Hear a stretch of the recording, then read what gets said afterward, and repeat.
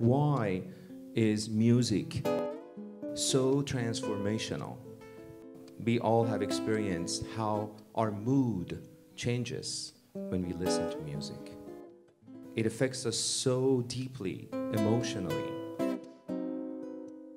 I believe it's because the way that music is delivered, the way that energy travels in a space, the sound waves, the vibration affects our entire being, not just our ears, but our heart and soul as well.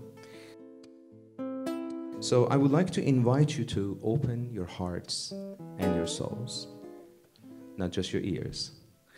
And I would like to invite you to experience music holistically.